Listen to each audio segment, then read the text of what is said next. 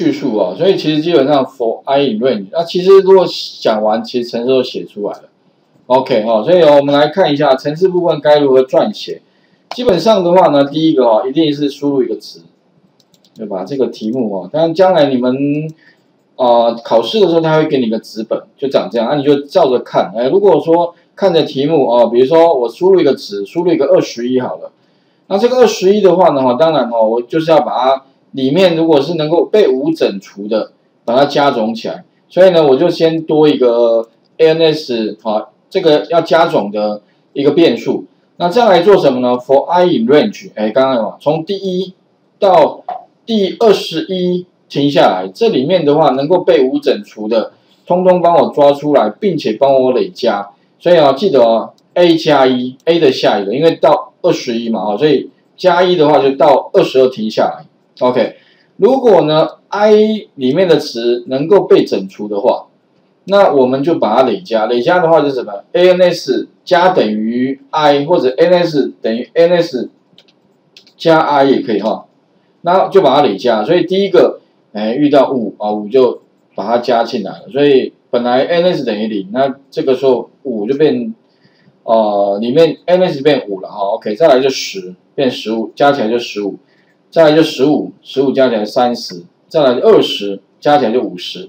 所以最后的话呢，就把这个 ns 的五十输出，所以这把它执行一下啊。所以如果你可以看到二十一输入之后，它 enter 五十，那表示应该是 OK 的哦。这个应该跟前面做过的题目很多的蛮像的啊，所以尽量哦还是要把它熟悉啊。所以你会发现这些题目基本上都是蛮基本的题目，OK 哈。好，而且哦，其实将来如果你们要就是应征相关类似的工作啊。其实现在还蛮常会被考试的，因为我怎么知道你会不会？刚才丢几个题目给你做好了，做完之后哈，可能有时候面试了一堆嘛，那怎么办？先来第一，先在大大会议室嘛，然后大家先做一测验一下，第一阶段先过的话，就先筛掉，只剩下几个，在第二阶段，在第三阶段，哦，这样的话呢，哎，可以留下对的人嘛。啊，最简单的方法就来个测验就好了嘛。不然的话，每个都先来面试，然后面试完之后，我怎么知道谁是程度好，谁是程度不好的？所以先考试一下，哎，应该是还不错的方法。所以也许啦，如果你要从事未来要从事类似工作，不然的话哦，就是也是把这些熟悉一下，OK 哦。不然的话，你就拿个证照。其实说这样有没有效？你在履历上有证照，跟其他人都没证照，当然了哈。以我的角度来看，哎，先把那个有证照先找来问问看，好了，对，了解一下，哎，对啊，如果没有证照的，就先先摆一边一下，不然的话，我怎么确定说到底会不会找来的哈？其实根本不会，OK，哦，好，那再来的话呢，三零四部分，三零六部分的话是阶层，OK，哈，回圈阶层计算，那所谓的阶层哦。就是说呢，反正一直乘，一直乘。如果输入十五的话，啊，十五的话一般是写成这样。阶层的话，我印象中是什么？十五 i。那什么叫十五 i 哈？啊，不不不不，十五惊叹号。那意思是说呢，把十五以前的所有的十这个整数啊，通通都相乘起来。意思就是说，一乘二乘三乘四乘五乘六乘七，一直乘乘到十五的最后结果数字是多少？那当然，其实理论上哦，应该一可以避开嘛，因为一乘以任何数字还是原来的数字啊，那所以一不用，应该从二开始乘啊。啊，不过你要加进也没关系，OK 哈。所以啊，要怎么样可以一直乘自己，乘自己，啊，最后把结果呢给输出。所以哦，一样嘛，跑个回圈。那回圈后面的话呢，最关键的地方是什么？ans 等于什么呢？ans 自己乘上 i 就好了。有没有？哎，不对，那，ans 就不不能从零开始。我们刚刚 ans 等于零嘛，那如果零乘上一还是零，零乘上二还是零，所以最后可能变，所以 ans 初始值要多少？要一嘛，对哈，一乘上，呃，一乘上一还是一嘛，好，OK，然后呢，再来一乘上二就变二了，所以以此类推，哦，通通把它乘在一起。所以呢，阶乘部分的话呢，要怎么完成？所以假设我今天输入十五，它必须把 这个阶乘全部乘完的结果帮我输出的话，那接下来我们来看一下三零六，程式非常短，就长这样而已，五行啊。第一个的话一样什么？输入一个 A，啊 A 那是特别重要，你就不能说像刚刚一样输入零，输入零就完了，里面的话 print 结果就零了。OK 哈。好，所以记得是从一开始，那范围的话就从一到 A，A 自己的后一个停下来，所以十五的话，那将一定十六停下来，OK 哈，然后这 NS 等于 NS 自己哈乘上 I 就可以了，那这样的话呢，就会是一，哎，不过应该是这已经是一了哦，所以这边应该是二开始，可能会比较标准，不过其实你用一也没法，因为一乘上还是原，所以多乘一次并不会影响。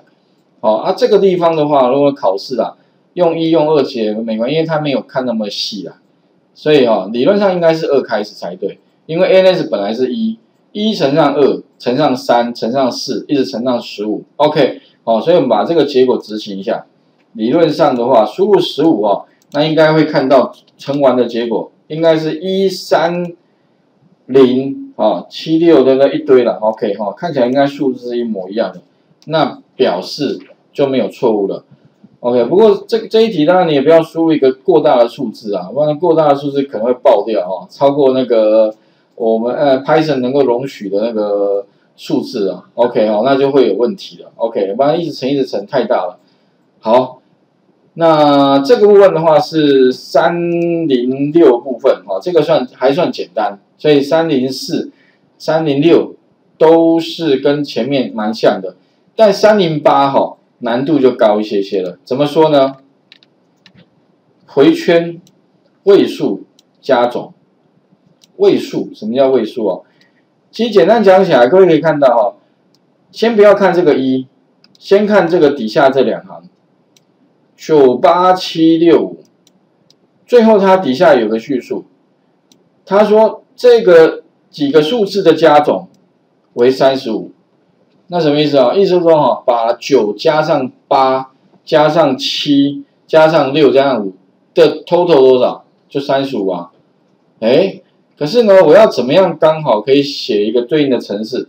当我输入九八七六五的话，它能够把这里面每一个位数的值，通通都把它独立出来。哎，所以特别说，必须什么？把它个别独立出来。然后呢，哈，再做什么呢？加总方法很多哦，哦，像我待会会举几个例子啊。第一个方法就是怎么做呢？你可以把它里面的每一个字都抓出来，哎，因为我们 input 的时候呢，它是一个文字，对不对？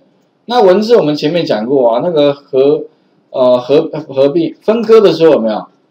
不是有那个字串 s 中刮弧有没有？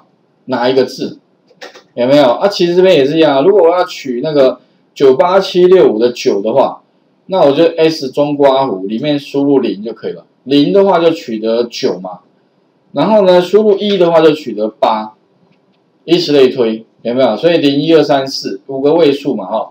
但是呢，你取过来的话，它是一个文字，文字如果你要累加不行，所以怎么办？转型不就好了？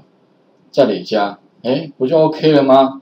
所以哦，这个地方呢，你可以什么，把它当什么，当文字看待，然后分别把它一个个字抓出来，就 OK 了。啊，再来的话，你可以什么，跑个回圈嘛，零到四，有没有？For i in range，range 的话就四就好了，然后就一个一个把它抓出来，一个转型，一个个累加，哎，这样就 OK 了哦。大概是这样，请各位先想想看，好吧。画面再还给各位哈，三零八的部分。那这一题哦，除了我刚刚讲那个方法之外哈，其实呢还可以用数字的方式来做。嗯，怎么叫数字的方式来做？就到就是可以用那个啊，把它当数字来做计算。有没有求余数嘛？比如说先什么，让它除以十的余数，除以十的余数一定会先余五。那就把五抓过来，有没有？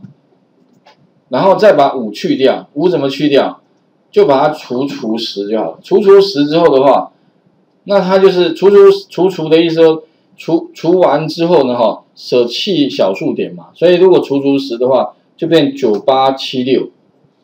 那九八七六再怎么样，再求余数，十的余数那不是六，那以此类推嘛，除到没有为止，那就把它全部加，也可不可以？可以啦，哦。